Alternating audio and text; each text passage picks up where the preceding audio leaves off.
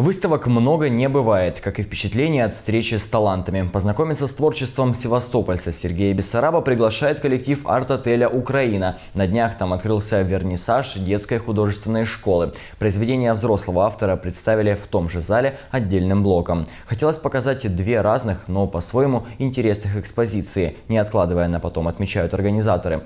Работы Сергея Бессараба созданы в редкой для нашего города технике – гравюре. В принципе, это книжная графика, это иллюстрация. Иллюстрация не просто произведения, которое я хочу там проиллюстрировать, а именно мое собственное чувство и отношение к моему любимому городу. Сергей Бессараб, практикующий архитектор, за годы профессиональной деятельности обзавелся весомым опытом и широким кругом интересов в области изобразительного искусства. Это живопись, графика, акварель, сценография, дизайн и даже археология. Вероятно, потому автора особенно вдохновляют руины древнего Херсонеса. Я замыслил несколько серий. Вот начал с Херсонеса, моего любимого, потому что там про что и детство, и юность.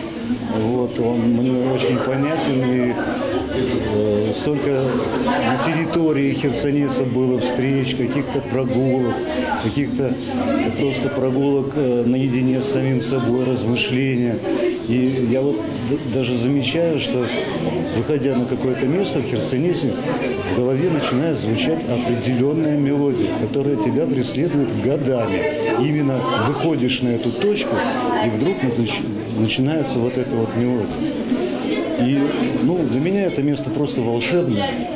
Сергей признается, экспериментировать в гравюре решился без должной практики и подготовки. Идея пришла спонтанно. Взялся и удалось. Камерная экспозиция из семи работ – первая глава проекта «Севастополь в гравюре».